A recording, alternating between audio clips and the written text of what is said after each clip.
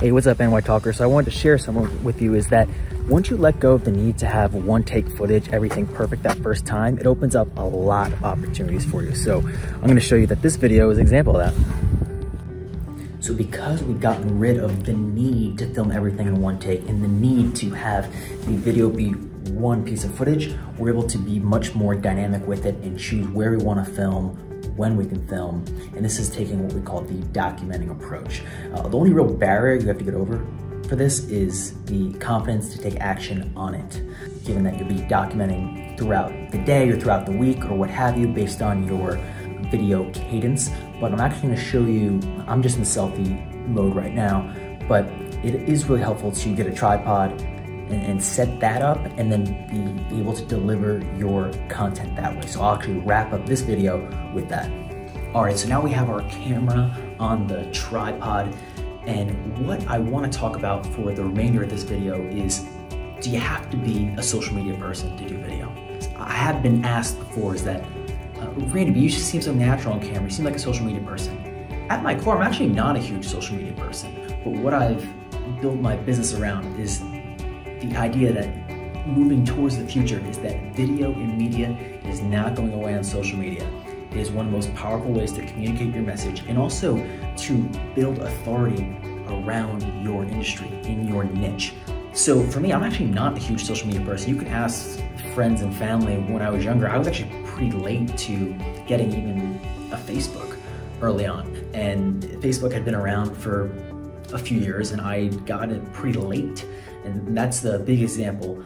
But I, want you to have the assurance that you don't have to be a huge social media person to use video because at the end of the day, the the video is you delivering a message. It doesn't have it doesn't have to be you using social media all day, every day. What you're doing is you're creating video and media assets so that you can teach your ideal client, your ideal customer. And then you can always repurpose those assets once you start using other platforms. But having a base that you can go back to and having the confidence to take action on these things. That's why in this video, you saw me um, walking outside, and then getting into the space here, and now I'm sitting here, is these three bits of footage allows me to be more dynamic, speak in a way that's natural to me, and I'm not beholden by having to deliver.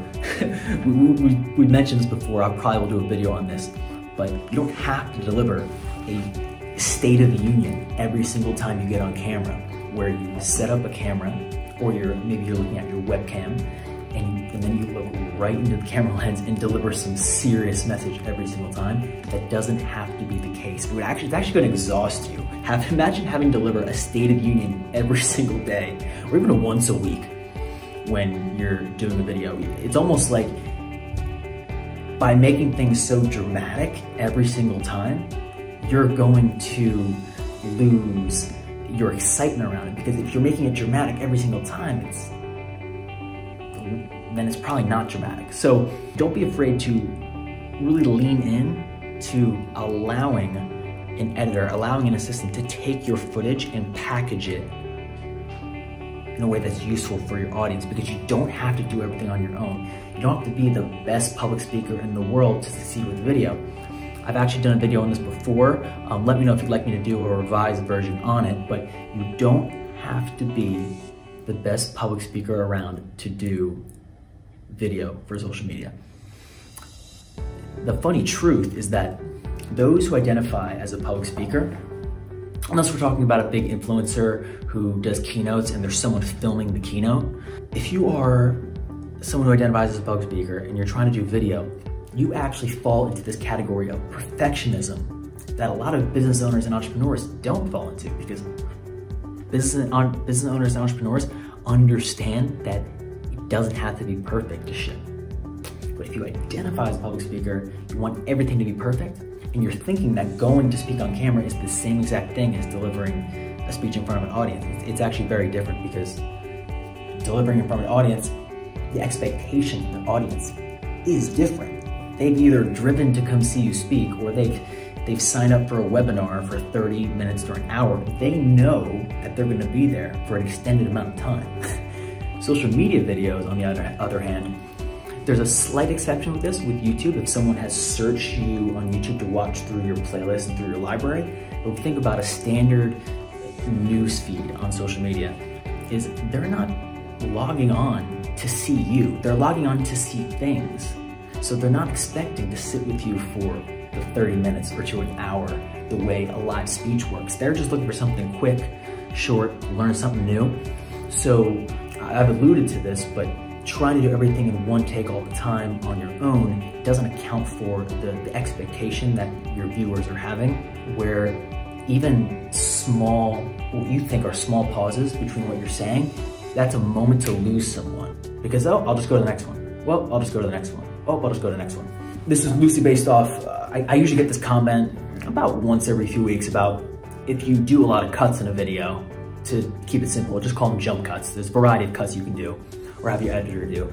But if you do a lot of jump cuts, then it becomes like, oh, well, Randy, wasn't a really jumpy video? That's not helpful. But guess what? Your audience on social media wants to see your video as quickly as possible.